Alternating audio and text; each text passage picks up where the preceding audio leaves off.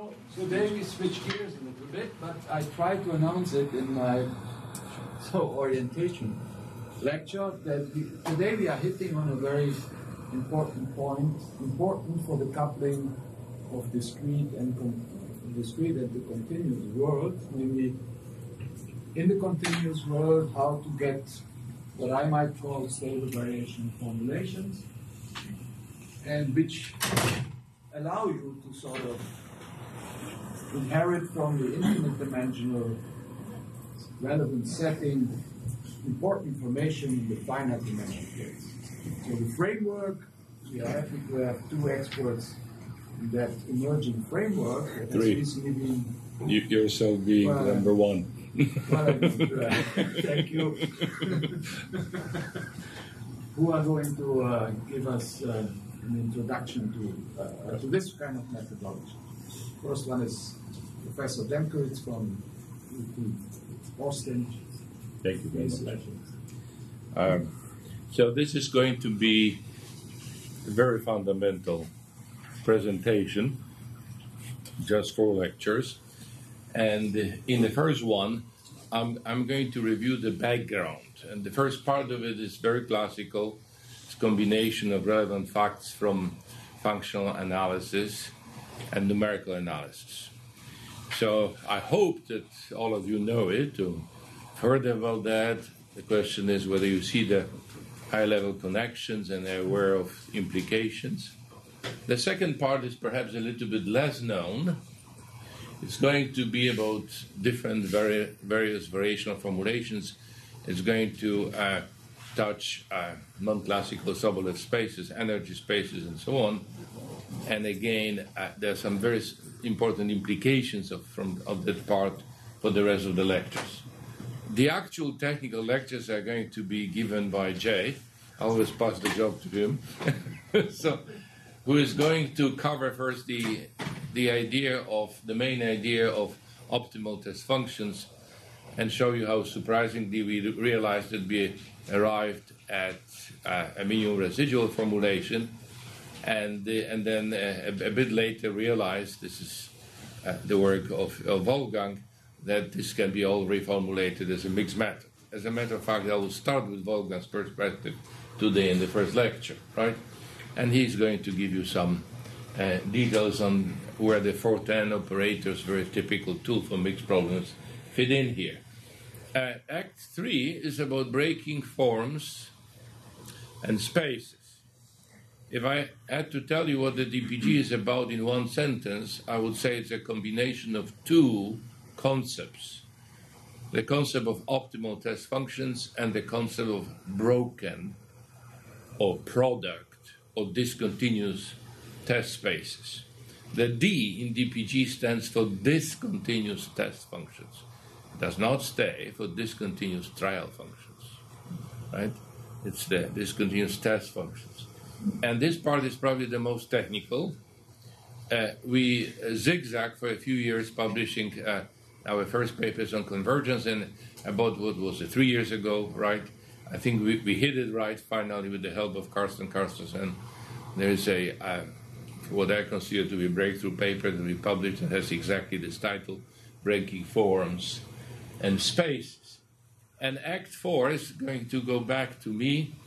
I'm going to show you what we are working on uh, currently, flash a few examples so you have an idea what we can do with that on the practical side and why it got in particular me so excited uh, after all those years of working on higher order methods.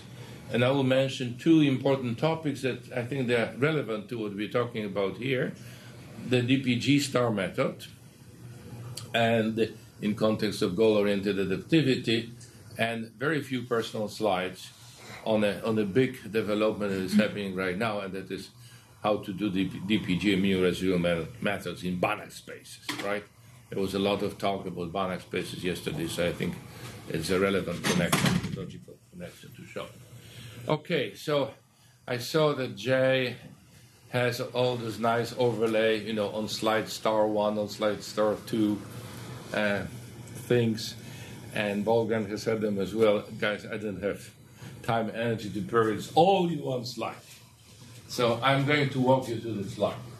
So this is the language that we use. This is what we call the abstract variational problem, right?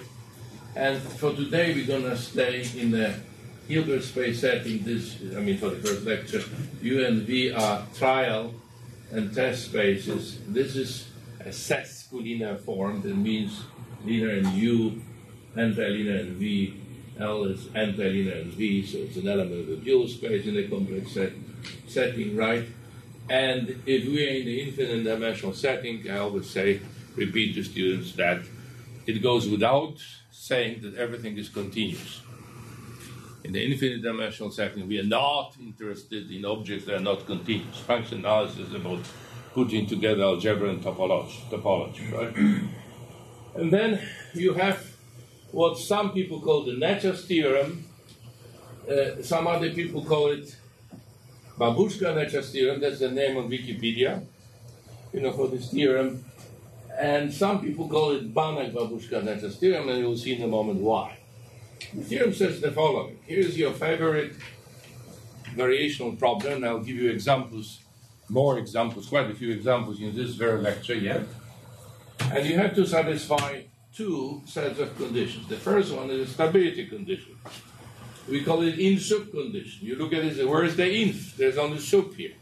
Well, you divide by the norm of u, and you take the inf, inf has to be greater than equal than gamma. So it's hidden there. It's equivalent statement of the inf-sup condition. And the second is compatibility condition. You take a subspace of the test function that doesn't see all trial functions, right? Your right hand side, the load, has to vanish on that subspace. So if you satisfy this stability condition and this compatibility condition for that particular right hand side L, the theorem guarantees that there exists a unique solution to this variational problem and you have stability result. Right? So the norm of the solution is bounded by the inverse of the stability constant, right? Times the norm in the dual space of your linear functional F. Okay? So that's the first part. This is called usually Babuška-Necher's theorem or just Nečas theorem. Nečas was the very first graduate student of Ivo Babuška. He was still alive and kicking. He's turning 92 next month, right? And officially retired, but keeps coming as usual every day. Right? And he says that actually it's a nice thing as he retired because his salary actually has increased now. right? he was half time yeah, that's, you know, he has moved to. Yeah, so he, he draws more money than he did when, when he was officially on the payroll. Okay, so I'm going to reformulate this, these conditions in terms of the operator equation. So, first of all, with everybody in a form, right, we can introduce the corresponding operator. And the nature of the variation formulation is that the operator defined by the bilinear Susskind form goes from the space U not into V but into the dual on V prime. You may argue that the very nature of variational problem is that you're dealing with operators that take place always in the dual space. Right? That's because of testing business. And that operator is continuous. And then this condition, you recall the definition of the operator and the fact that supremum defines the dual norm, is nothing than the boundness below. So the operator, corresponding to the sesquilinear binary form, has to be bounded below. That's the boundness below constant. That Banach introduced. And then this condition says nothing else than if you take the operator, the adjoint, people use different names here, conjugate, adjoint, transpose operator, right?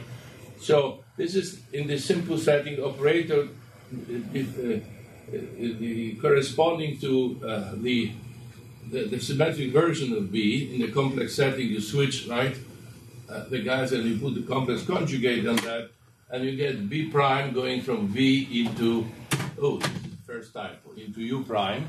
This is U prime, and because you are in a Hilbert space setting, V is isomorphic with the bidual and therefore you are back into the uh, Banach setting, and this condition, then this is nothing else than the null space of B prime, and this condition says that L is taken from the orthogonal complement of the null space of B prime, and you recognize Banach closed range theorem for continuous operators.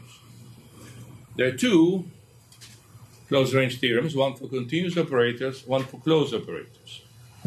Banach proved the first one, although Yosida gives him also credit for the second one. Second one, I'll talk about it, was proved much later by different people, right? For closed operators. This is for continuous operators, right? And that's why the name of Banach appears here, because from the functional analysis point of view, this theorem is nothing else than a simple reformulation of Banach theorem, right? To the setting of operators going from U into V prime, period, generated by a form like this. How many of you have seen that connection before? Oh, that's clear, but students haven't. So, so this is the first thing to see. This is described in detail in our uh, everything they talk about here on functional analysis levels in our book with Dinsley. So, of course, there are many other textbooks that cover it. Okay. So that's step one. Step two, uh, we introduce the concept of Petrov-Galerkin, right? So what's the difference between Petrov-Galerkin and Galerkin, or Bubnov-Galerkin? So Galerkin published his famous paper in 1914. Bubnov was his colleague in the institute at the, at time. And the name of Bubnov-Galerkin was added later to distinguish from the Petrov-Galerkin method. Alexander Pietrovich, Piet, Alexander Pietrov, I forgot his, oh, what's his name, uh, published his famous paper almost 50 years later, in 59. So much later, and he actually died only a few years ago. Right? Uh, and he, he came up with the idea, which in context of settings where the trial and the test space is different, is very natural. Galerkin was concerned with mostly self-adjoint problems. He was a structural mechanician, a mechanician working on places, original problem, right? And so what the Petrov-Galerkin method uh, proposed is that you have a finite dimensional trial subspace of U, a finite dimensional test subspace of V, right? And you formulate a uh, approximate variational problem, it's the Petrov-Galerkin approximation, by seeking UH in the finite dimensional die and testing it with the finite dimensional test spaces. And because you want to end up with a square system, same number of unknowns as equations, you request that these two guys are the same. Now, if you are in a symmetric functional setting, U and V is the same, then you choose VH to be the same as UH. And that's the Galerkin method, or Bubnov Galerkin method. Right? There's no issue then how to choose VH. But if you have different function, functional trial and test spaces, that's not obvious. How do you choose guys that live in those spaces, right? So, in this concept, there's no stabilization. It's a straightforward discretizations where you use the bilinear linear forms set from the continuous level. All you do is you operate within, you know, finite dimensional spaces. Okay? And then, what the Babuška theorem says is the following. If you take now the finite dimensional equivalent of the inf-sup condition that we had before, so the supremum is taken over VH, coming only from the finite dimensional test space, and you're concerned only with the finite dimensional trial spaces, and you get here now what we call a discrete inf-sup constant, then on this condition alone, based on this condition, you can conclude that there exists a unique solution, UH, to your uh, Petrov-Galerkin approximation. So you may at this moment ask me, wait a minute, so what happened with the compatibility condition, right? I mean, the previous thing, I had the compatibility conditions on a continuous level. On a discrete level, I don't have compatibility conditions, right? Can anybody answer this question except for those guys? Why don't I need the compatibility condition on the discrete level? Well, because on the discrete level, rank of operator square matrix equals the rank of the transpose. And this condition says that A, right, my stiffness matrix is non-singular, as a, uh, and and and and therefore the the adjoint matrix is also transpose matrix is also non-singular, and, and therefore that condition is satisfied trivially on the discrete level because this guy is trivial. It's just zero. So you don't need that condition. That condition is hidden in here, in the assumption that you want to have the same number of test functions as this. So, uh, so there exists a unique solution, and you have the same stability estimate. So at this moment, Ivo doesn't get any credit because this is simply a particle uh, application of the you know previous theorem, right? Nothing new. Just in the final dimensional setting. Well, there's a second line to this theorem, and that's where the real meat comes in. The error measured in your trial energy norm is bounded by two, by the product of two guys. The second one is, is, is known as the best approximation error. You take the exact solution, all the regularities you get, and your functional space that has been cleverly determined, maybe in an adaptive way, right? This is the best you can get. This is the best approximation error. By definition, it has infimum here. You cannot go below that. And then this is pre-multiplied by what we call the stability constant. B is the continuity constant for the form B.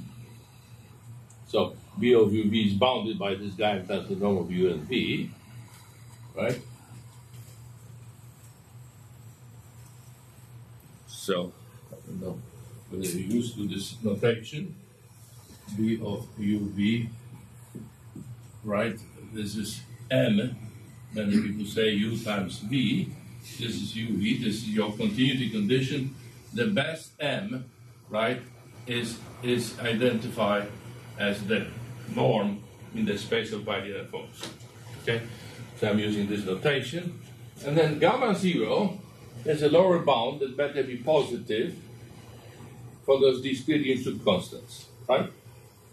And when I teach the cl- open, beginning class on Galerkin methods and final methods, I make my class recital the following statement. Approximability and sta- discrete stability, or more precisely uniform discrete stability, imply convergence. Approximability and discrete stability, discrete stability not continuous stability, discrete stability, imply convergence, right? And if this converges with some rate, this will converge with the same rate. And then the method is called optimal, right? Because you, you're converging with the best rate you can get from the approximability point of view. Now, uh, as Jay will tell you in a moment, the, bay, the big, the main trouble in all this business is that the inf-sup condition on the continuous level does not imply the inf-sup condition on the discrete level. So, continuous stability does not imply discrete stability. By the way, the same phrase was coined actually earlier by Peter Lax in his famous paper that arrived at the same condition in context of finite difference methods. And it's very educational to read the first page and a half of Peter Lax's paper, where he clearly implies that it is much more difficult to prove discrete stability than the continuous quantity. Hence, all he and his colleagues working on discretization are much smarter than their PDE colleagues at Courant. Okay, this is the implication. Have you read that paper? It's very clear the way he writes them. Chandra. Yeah, so how do you show this invariant to the discretization? I'm sorry? So this is a condition based on the discretization that you showed. This is How this you is show invariance under any possible discretization that you? There's no invariance. This is just one discretization. Yeah, so for this discretization, you're showing optimality. This is very Does there exist some other possible? Sure, then you have some other- You might get even a better. Yes. So therefore, this is not the optimal optimal. is optimal in this context. Because why is it optimal? Because this is the best approximation error. If you, if you Right. choose your trial space, it's optimal. So once you Yeah, so you could try to choose a good new way. You, you can you can still take a better U, Yes, and right. then, And but then you have to find a better another V. Sure. So it's the couple. So I mean, so if, if, that, if that constant is one, by some miracle that will occur in the second lecture, right? Then you have a projection. Because then this guy lives here as well, and therefore you have equality. So you have then orthogonal projection. But in general, that constant is not one. It's bigger than one. Okay. All right. And so Ivo's paper was published in uh, 71. 71. Actually, it was an issue 70 slot 71, but I think appeared in 71. Two years later, there's a famous paper about, published by Franco Brezzi on a class of mixed problems. Th- These are the mixed problems. And now you have two guys, two players, uh, you and we like to think about it as a Lagrange multiplier, because this type of mixed problem you arrive at from constrained minimization problems. If this structural structural mechanics we arrive at this problems from minimization of uh, uh, total potential energy, then here this is under constraint. Stokes being the, the, the most common examples. Of course, there are plenty of other examples. And the functional setting now is symmetric.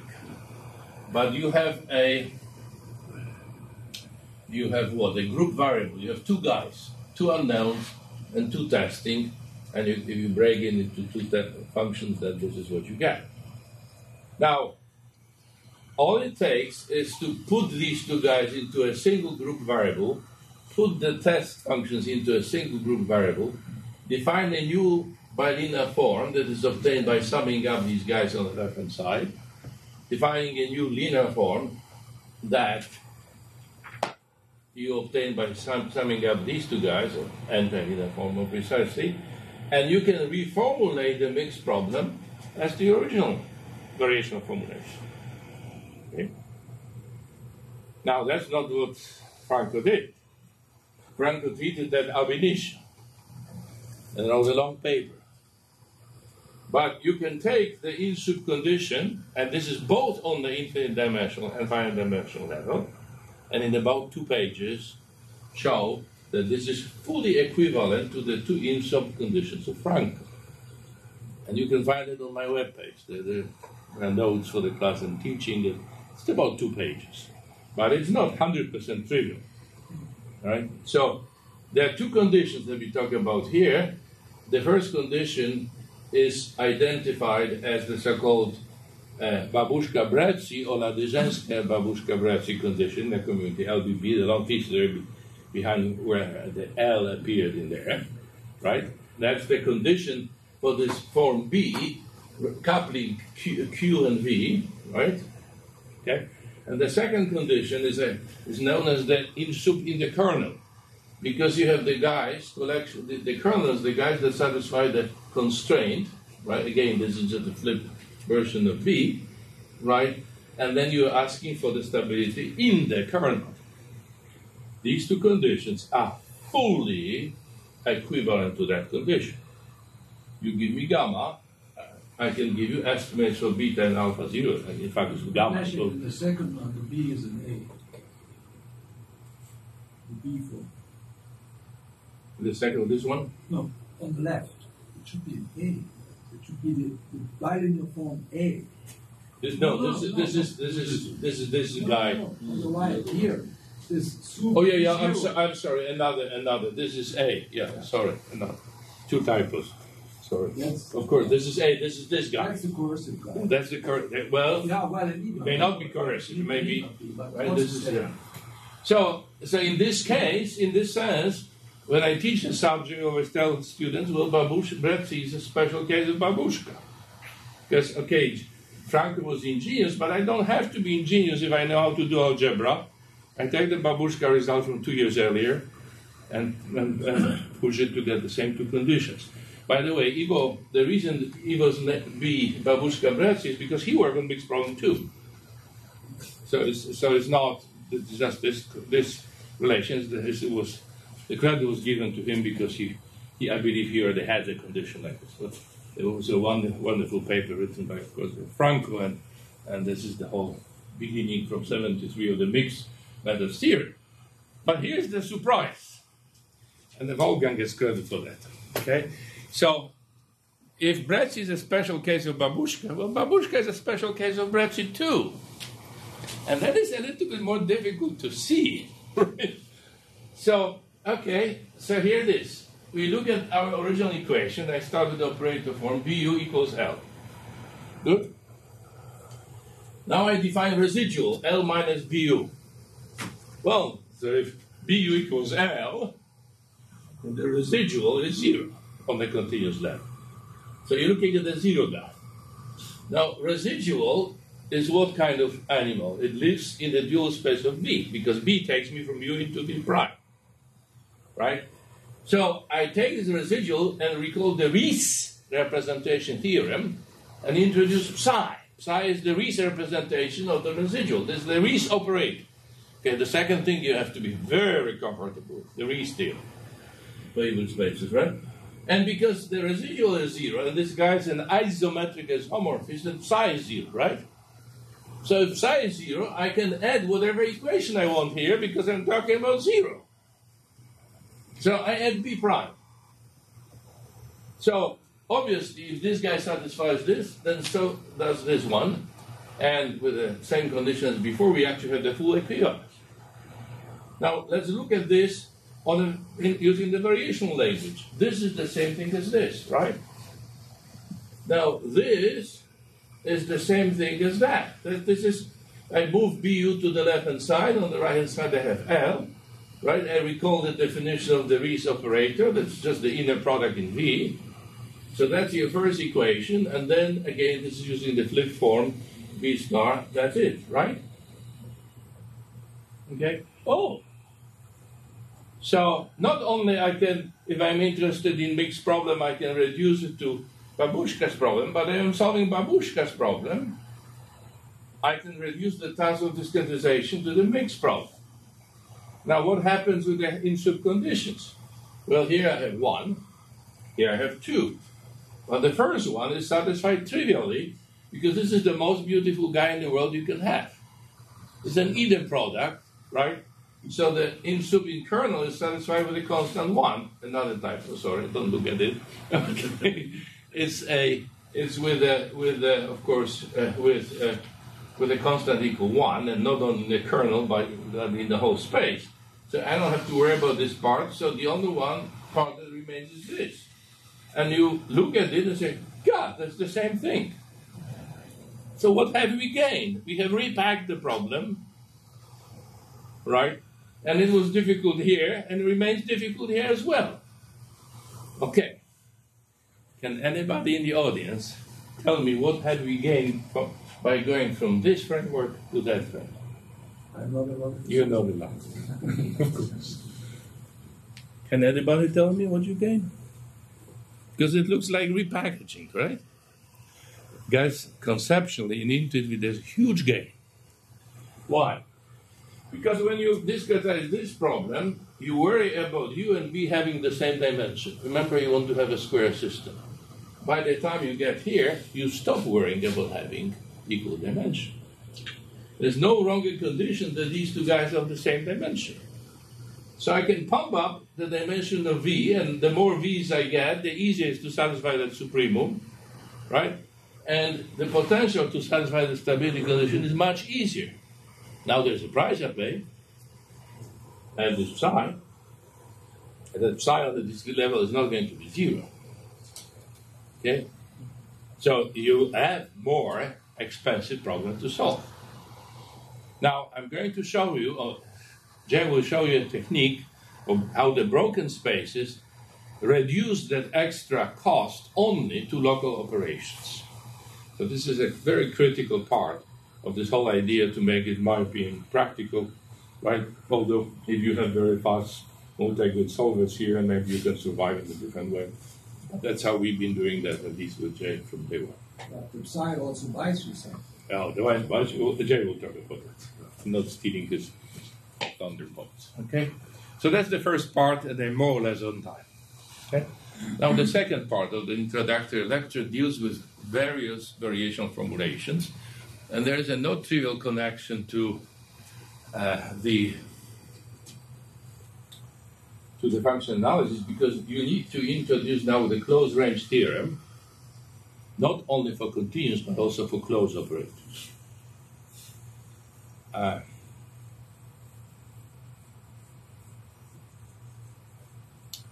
Yosida was the beloved teacher, not only of his Japanese younger but of everybody. Well, let me confess to you. There is a proof of close range theorem in Yosida's book.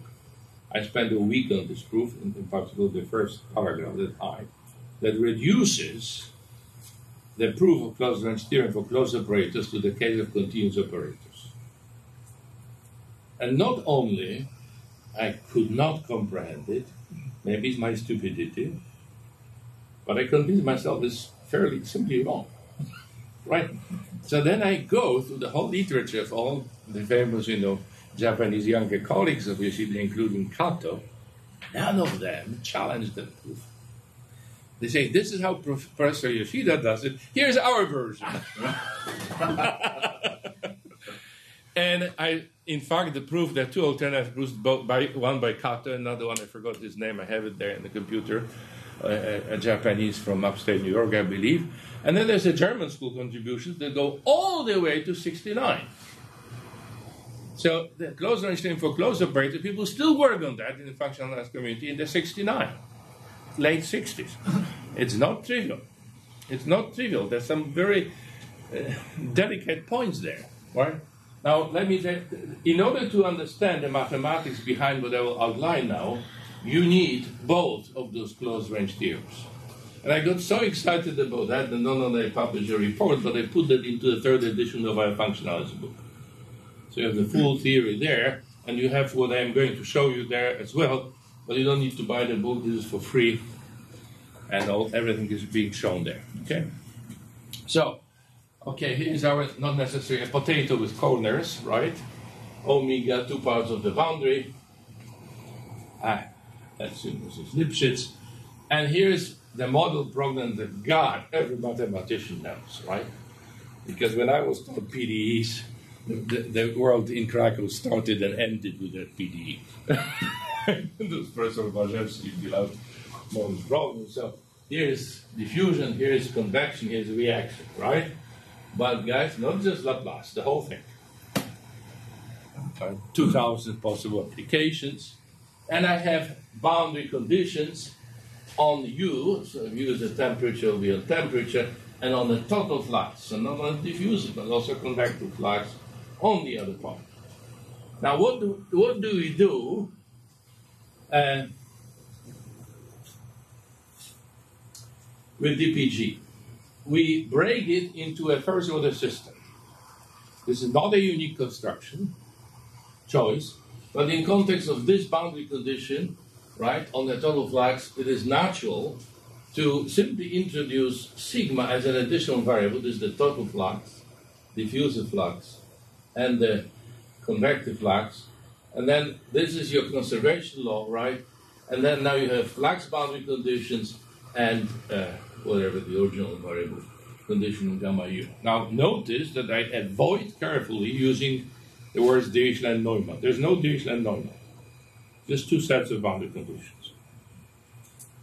Okay, now once I got myself a system of first all the equations, right? Two two sets of them, or right? These are vectors, so you have here more guys than here. It's a scalar equation, the vector equation, right? Then you have to repeat after the prince of Shakespeare's. Mm-hmm. What he was the prince of what? Hmm? Hamlet. Yes, Hamlet, but he was the prince of Denmark, right? Of the Dan- Danish prince. Danish prince. Relax or not to relax? Okay, the important question to be asked. And what do I mean relax or not to? What do you mean by relaxation in finite element methods, right? Right? Relaxation means always two things, and don't miss that integration by parts, and, and I emphasize, and building boundary conditions in. So, two things. Okay? So, so there are these two equations, and if I can relax or cannot relax, right? Obviously, I, I have how many choices? Four, right? Two times two is four. So before even doing anything, I can tell you I'm going to have four variational formulations. And as you will see, the so-called mixed formulations will yield, under additional conditions, two what we call reduced variational formulations. And one of them you'll discover is the one that perhaps you're very familiar with, the classical principle of virtual work. But my first point is the word goes beyond principle of virtual work and solar spaces, classical spaces. You have six possible variational formulations. Now, the mixed formulations use a symmetric functional setting, right? If you look where the U and C are coming from, there's full symmetry here. So they're good candidates for Galerkin, for Bubnov Galerkin. But the remaining two, strong trivial and what we call the ultra weak, Jay and I started to call it ultra weak, stealing the name from our French colleagues, Cessenat and Després. And I apologize personally about that to Després. I think two years ago, and he said, "Don't worry, I stole it from Lions anyway." so, so the name has been in use for a while, and exactly in this spirit that you pass all derivatives to test functions, right? So uh, these two formulations, strong and ultra weak, are enjoy non-symmetric functional setting. So you cannot use them with the standard Galerkin for that stupid reason that you have different trial and test spaces, right? Now, this is where I sweep under the carpet the whole modification of the third edition of function analysis that we did. It turns out that the inf-sup conditions for these four, actually six formulations, are practically equal. Some are equal, some are of the same order, right? So if one of these problems is well posed, you have shown this well posed, you have well, immediately well posed of the other ones. Immediately, right? And this is where those two Banach theorems are at work. You know, we are on an infinite dimensional level here. We're not talking about any discretization yet. I'm just talking about variational formulations, okay? So let me walk you through those formulations. So here's the strong formulation, right? All you do is you multiply with test functions and you leave it alone. So you, you look at this, aha, I have divergence on sigma, so sigma has to be coming from H div, and I have to make sense of this boundary condition. So here's the trace theorem for div spaces that you have to be comfortable with. And the, the variable u has a gradient, it's comes from H1. Here's gamma, you know, you, again, in the sense of trace is boundary condition. And this is your variational formulation where this indicates inner product, L2 inner product, right? So you haven't done any relaxation. Your test functions are L2 guys, right? That's, that's the first case. Now, mixed formulation one, you take the constitutive, you take the, I'm sorry, you take the, uh, the uh, conservation law and you relax it. What does it mean? You multiply with the test function, you integrate by parts. So divergence goes onto the gradient, the minus sign disappears. And you end up with a boundary term, which is sigma n times v sigma times n, the normal component times v, but you know sigma n. So this guy is built into the formulation, right? Uh, except that you know it only on gamma sigma. So you eliminate the unknown contribution by not testing on gamma. There's no miracle here. You just make a decision. I don't want to see the term. I'm not going to test it.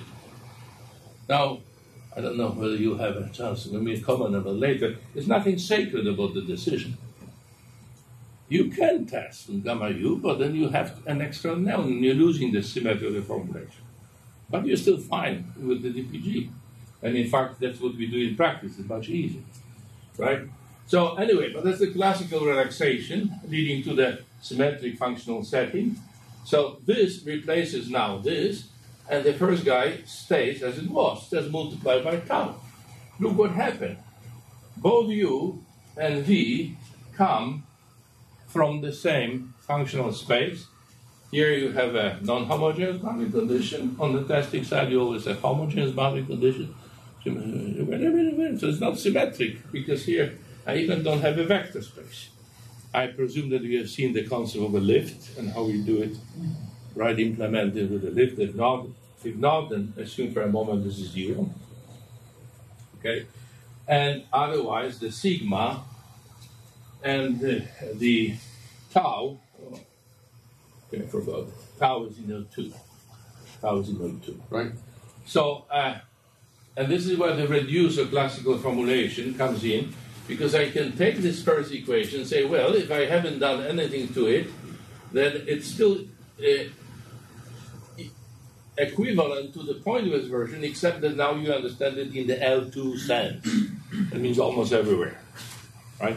So I, I think Benjamin was sweeping some things under the carpet too when he was finding there, right? When you were talking about the classical Fourier's argument, right?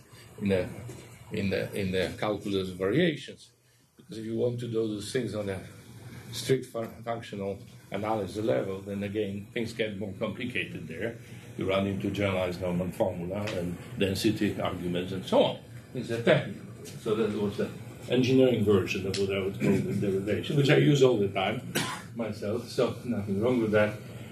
So the delicate thing is that now this is understood in the L2 sense.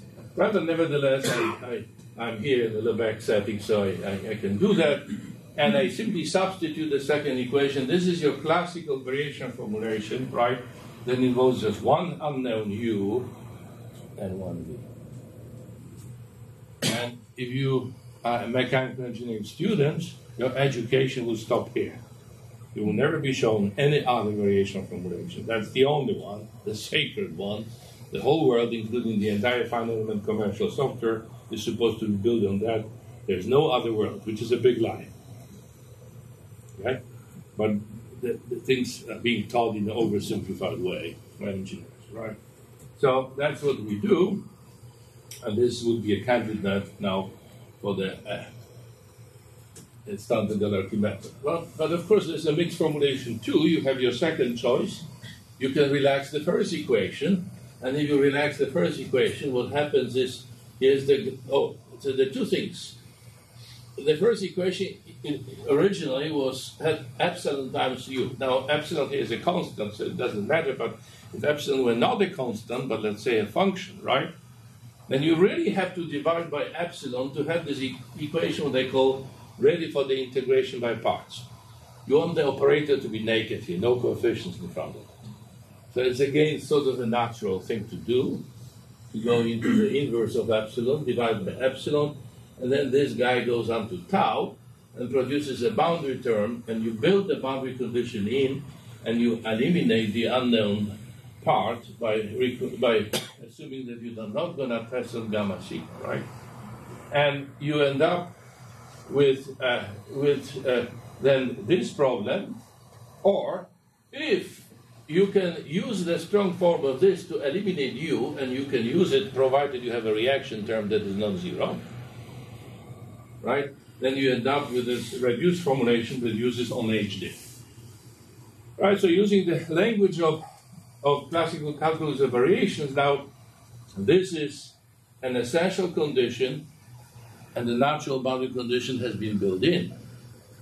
So if I want to be a PD person, I would call the first one Dirichlet, the second Neumann. Now, do you understand why I'm not using that? Because what has Dirichlet, Neumann has changed right? I flipped the, the equations. And so this is very unnatural for engineers say, wait a minute, wait a minute. You're telling that sigma has, which is stress of flux, has more regularity than u does L2? This is ridiculous. Well, sometimes mathematics is ridiculous or goes against the intuition. Let me tell you, from the mathematical point of view, this is almost as good. Well, almost it's, it's, it's as good as the previous one. So I can solve, for instance, for fluxes in this formulation if I have a reactive term without ever visiting u. Same thing in elasticity. Under favorable conditions, if you're, looking at time harmonic, let's say, vibrations, you can solve for sigma without ever involving displacement. That surprises most of the engineers. Wait a minute, I can get stresses without displacement? Sure. Right? There's, in fact, a big historical literature on the subject uh, how people you know are struggling with the notion. Okay, and here's our favorite formulation, Jay's and mine, the ultra weak, where you two take the two equations, right? and you relax both of them. So now your solution is as weak as you can think of, just the L2 functions. But your fast guys are coming from this H-div and H1 spaces with the proper boundary conditions built on. So six at, at most six formulations, and of course uh, you may uh, now uh, ask yourself the question: So so what? I mean, you just have made my life more complicated. I had one decent formulation so far I had to struggle with. Now you tell me I have six. Now let me tell you what happens. Okay, I still have a couple of minutes, right? So there are two things happen. First of all, I want to emphasize that these formulations have different variational settings. And they have different variational settings, you will be converging in different norms. In the ultra weak variational setting, you're converging in the weakest norm possible. You don't care about derivatives. Does it matter? You bet it does. Talk to the wave propagation people that are interested in high frequency solutions. They don't give damn about derivatives. All they want to see is the waveform. So I translate it into a request controlled L2 norm for me, nothing else. But if you talk to a structural engineer, I want the derivatives. I said, why do you want the derivatives if I give you stresses anyway? And then it's a different question and more difficult to answer. But you make a choice, right? And depending upon what, cho- what choice you made, what method you pursue, what variation of formulation, you build a different final method. And as you will see, DPG provides a framework that can tackle not just one of them, but all of them in the same unified way in the same code. More than that, you can couple them. So you can take a domain, you know, break it into subdomains, and you say, okay, here I'm going to use this variation, here I'm going to use this one, and so on. So again, the question is, why would you do that? Because some of them have different stability properties than others in context of more difficult problems. For instance, for elasticity, there's the issue of volumetric locking. And the mixed formulation number two and the ultra formulations are the two formulations that do not lock. You can pass with the Poisson ratio to one half, and you have in the same code solution to the Stokes problem or incompressible elasticity. You don't need two codes, but it is more expensive, right? So if you open some of the papers that I have written my students, you'll find examples where, you know, you may have a rubber part and you may have a steel part, right? And we use different formulation for different parts because it's cheaper and easier, right? We avoid the volumetric locking. So volumetric locking, I don't look at it as a deficiency of finite elements. I look at it as a deficiency of the stability, the variation of formulation. I mean, the big reason why I've been struggling with that is the wrong variation of formulation. You include the pressure as an additional unknown, you don't have any locking from day one. That was communicated to me as a big secret by Oleg Zienkiewicz by late 80s. Right? And so it took some time to understand these things, right? So, uh, so that's the big point here. That you see as mathematicians the big picture and a huge battlefield where you can do a lot of new, uh, new work and new stuff. And I'll stop here and pass the, the ball to Jay. I could make your life actually more complicated mm-hmm. because you also made a choice of how where to put the ground epsilon. I have to do what? Where you put the epsilon. Th- that's right. That's so right. You, you could ask the question, I'm actually that's, interested that's, uh, that's Robert, you, in right. what happens when epsilon goes to zero. So the singular. Right, right. Okay, okay, I didn't want to enter that. I see. Yes, yeah, well, because because I'm not going to talk here about singular perturbation problems. That's that's too much for them. To look at the ultra weak. So the, the, yes, the, the issue, right? That I absolutely agree.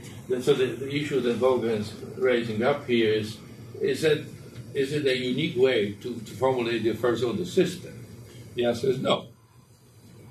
So that you will see, for instance, when I made my big bilinear form, right, from the two small, I can add them, but I can take any linear combinations I want. And this, in fact, will affect the definition of residual, in what Jay will talk about, and you get different methods that emphasizes the two equations differently, right? So this is an additional issue that has, can be sorted out, but already in context of one problem at a time. Another So he's opening a box of worms that I didn't want to enter in this introductory lecture. But okay, so it's a good time for coffee break now. Okay. Thank you.